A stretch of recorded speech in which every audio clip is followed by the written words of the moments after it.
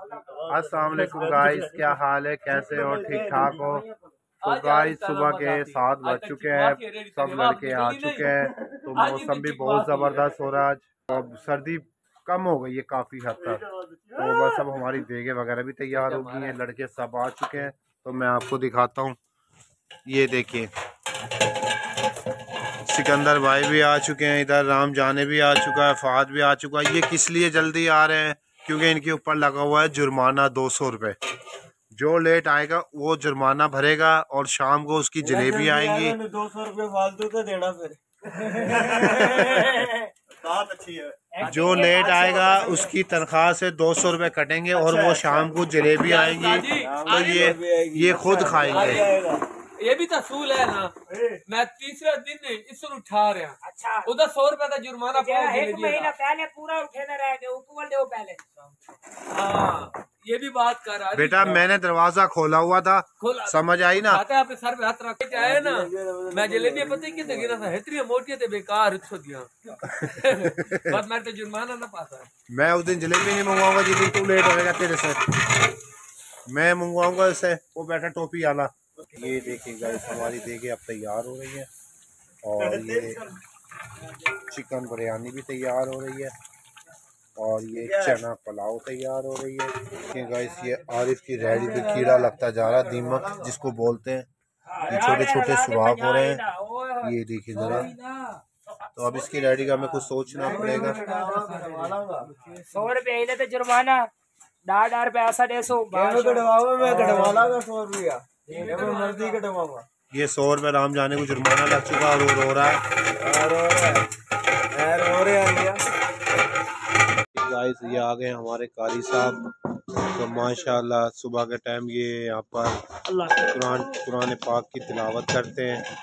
और अल्लाह का नाम लेकर हमारा यहाँ काम शुरू हो जाता है। अहद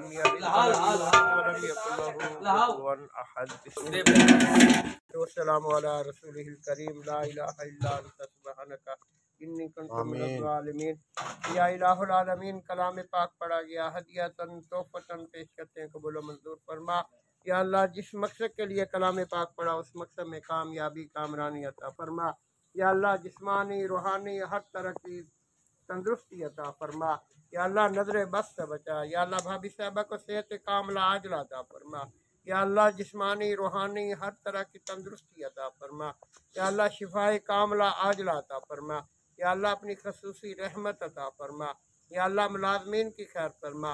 या अल्लाह मालिक की खैर फरमा। या अल्लाह आने वाला वक़्त अच्छा फरमा। या अल्लाह खुशियाँ नसीब फरमा। अल्लाह इलाहा इल्ला अंत सुब्हानका इन्नी कुन्तु मिनज़ ज़ालिमीन। रब्बि ला तज़रनी फर्दन व अंत खैरुल वारिसीन। व सल्लल्लाहु तआला अला खैरि खल्क़िही मुहम्मद व अला आलिहि तो जी, माशाल्लाह कुरान पाक की तिलावत से हमारा काम शुरू होता है यहाँ पर। तो बस अभी थोड़ी देर तक बस अब ये देखे तैयार होने वाली है। और ये बच्चे अब यहाँ से अल्लाह का नाम लेकर यहाँ से निकल आएँगे। है यार सात किलो लग देना आमिर दी देगे यार आरिफ ये बैठने के लिए आया है नहीं इसकी कह रहा हूँ। सेना मेरा गला खराब है पैसे कहीं भेजा रखो। नहीं इसके जिम्मे कोई काम नहीं लगाया आपने ये जो बैठा सामने। ऐसे बैठा जैसे कोई पता नहीं कोई यतीम बैठा हो। ये भी था ये टीम तो हूँ। दूसरा इसका करोड़पति है, ये यतीम है ये। ये गाइस देखें, हमने मंगवाए आज सुबह सुबह चने, छोले और नान, क्योंकि बच्चे अभी सोए हुए हैं, अभी नाश्ता नहीं बना तो मैंने सोचा चले हम नान चने से सुबह सुबह थोड़ा सा नाश्ता कर लेता हूँ।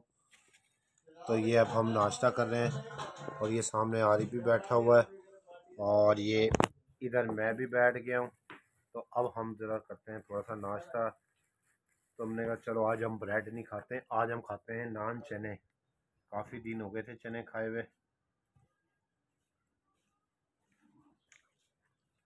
वैसे एक बात है, काफ़ी दिनों बाद चीज़ खाओ ना, वैसे ही मज़ा आता है। तकरीबन हम महीने, दो महीने बाद आज चने खा रहे हैं तो इस वजह से अच्छे लग रहे हैं। तो इंशाल्लाह भी मिलते हैं आपसे बाद में। अब हम ज़रा थोड़ा नान चने खा लेते हैं। हमारी हो गई तय बिरयानी तैयार। तो इसका हम दम खोलने जा रहे हैं। माशाल्लाह। ये गाइस देखें हमारी तय वाली बिरयानी बिल्कुल ओके हो गई है ज़बरदस्त।